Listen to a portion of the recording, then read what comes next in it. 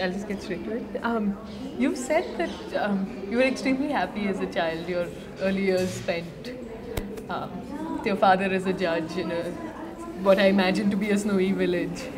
What do you think about your childhood made you want to write?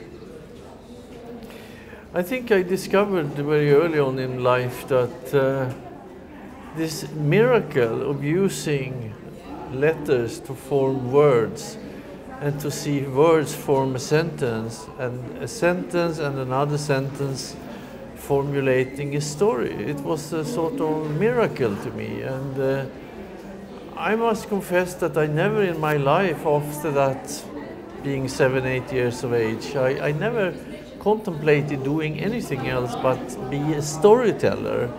In what way I couldn't say at that time obviously, but uh, no, I, I, I know that one of my most profound privileges in life is that I to do, today do what I dreamt about as a child.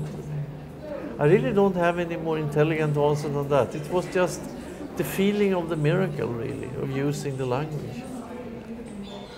And um, from what I gather, during the 70s, you were involved in a lot of political uh, protests and things like that, and the, the anti-apartheid movement and these things. Do you miss that sort of activist energy and idealism? No, I still believe I, I have never left it. I mean, uh, being a writer, being an artist, to me is has to be combined with uh, an urge to talk about the world we are living in, and it is a very simple fact that we are living in a terrible world.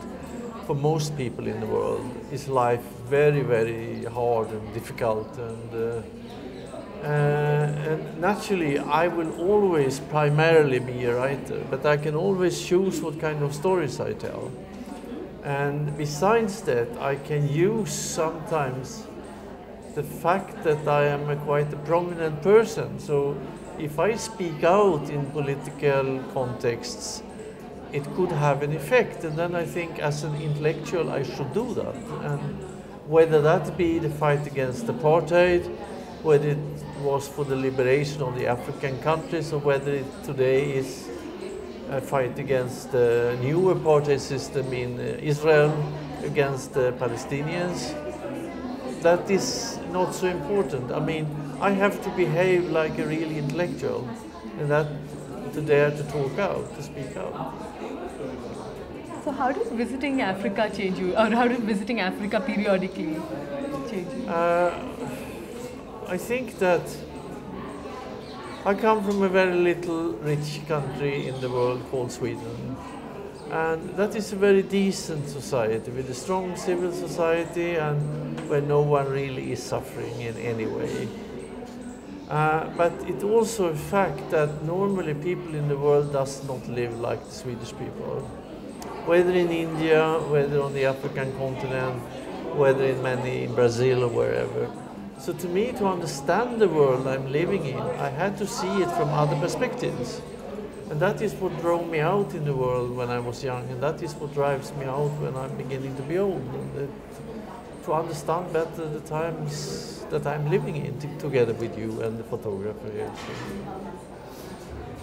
So, in the session, um, as I told you, the thing that really caught my attention was your dislike of the word happiness for it being too commercialized. Can you just talk a bit about that? Yeah, I think if you, if you look in the newspapers or magazines or TV, I mean, happiness is consumption. Buy these jeans, you will be happy. Change this car for another car, you will feel happy. Uh, take your wife with you and buy this new house, you will all be much happier than before. So the word happiness has been completely in a brutal way commercialized, so it doesn't mean anything anymore. So I really, I think that that word shouldn't be used anymore because we are fooling people by saying you, you, you shall be happy in the commercial version. We should tell people to, to work to, to try to create a better world. That will make you feel better. And instead of using this terrible word happiness, which is a commercial term, uh, termin terminology today, really. So with regard to your literary career, was theatre your first love? No, it was the writing, uh, and I never had any wish or whatever to become an actor. That's absolutely. But what interested me was that directing had very many similarities with uh, writing. It is the way that you, you, you create the world. The difference is that when you write, you are alone. But doing theater, you do it with people. And I find it so remarkably interesting that I can sit alone in my room and write. And one day I can rise from the chair, open the door to another room where it's full of people with whom I can make theater. And then one day I can go back to the first room again. So uh, but if I had to choose, Okay. God, forbid, but if I have to do that one day, I would say goodbye to the directing, because basically I am a writer.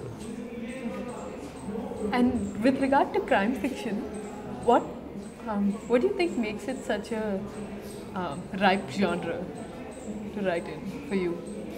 I think that uh, writers has always understood that using a mirror of crime to look upon contradictions in society is a very efficient way of telling a story. If you go way back 2,000, maybe 3,000 years ago, to look at, for example, the ancient Greek drama, they used crime plots almost always. So did Shakespeare. And so has authors during our times did. Dostoevsky did it. Joseph Conrad did it. Even in your wonderful masterpiece, Mahabharata, it's used. And that is because you see the conditions of life in a way very clearly when you have these contradictions of crime in the mirror. So I think it is, therefore, it is such an efficient way of, uh, of telling stories. So we are not the first generation believe, to think this. I mean, people have always been thinking this. And so coming to Kurt, Vol- Kurt Wallander, um, he's, um, I mean, I was reading him and I got the sense of a very misanthropic man. And that, of course, is not new to male protagonists in crime fiction in the last few decades. So, did you ever consider writing a happy detective? Well, there we have the word happiness again. Huh? Yeah. So we So can, we can the- take that away. Yeah, but that uh, away. the thing is that if you look upon statistics for the police force in a country like Sweden or in a country like Britain or somewhere else, you will find a lot of police officers divorced. You will find a relatively high rate of suicide. And if you think you have a, an average policeman going to work in the morning, what on earth will he uh, experience during that day until he eventually comes home at night? So I really believe that I can understand that many police officers are feeling very bad because what they see during a day. So uh, therefore I felt it rather natural to have a man who is, uh, yeah, he's marked by his work in a way. So I was reading about your many current projects, and uh, one thing that really caught my attention was this proposed TV miniseries on your father-in-law, Ingmar Bergman. Oh, but yeah. I sort of have a larger question, which is what, what kind of potential do you see in film as a medium? Uh, I, I think that I am, if I would say that the living theater is more important to me than the film, the Okay, movies yeah. really. But that is because I lived with the theater. Uh, when Ingmar Bergman died, and uh, you know, he's the father of my wife, and uh, I had a very close relation to him. And then I thought it would be of interest to write about his life. Not a biopic of his life, that wouldn't interest me at all, but uh, I would be interested in um, the price he paid, or to be honest, the price his family paid for the way he was not compromising in his work as an artist. And that is what interested me. And uh, and we, uh, I, I proposed this to the Swedish television, and they said yes immediately. And now it is going to be an international TV series because this man is probably the most well-known Swede. and uh, I think I have managed to write fairly good uh, story about it. And I'm also very happy with the, the director is decided that's going to be Susanne Bier, which is a Danish director who is very good. So I'm quite happy with everything so far. We haven't chosen the actor for Ingmar Bergman yet, but uh, that will come during this year. Okay, they've, they've told me that this is the last question. Okay. But I know you love telling stories, so Mhm. you just tell us a short one or anecdote. or- It's difficult. So short, no. I- Even what- one of the ones you No, no. I can't, I can't do that. It's No, too long. But what I can tell you is that uh, something that at least someone should tell the politicians, and that is, Okay. you know, that we people have two ears but only one tongue. Yeah? It's obviously because we should s- listen double as much as we talk. Yeah. That would be a good ending to this talk. Thank you. Thank you.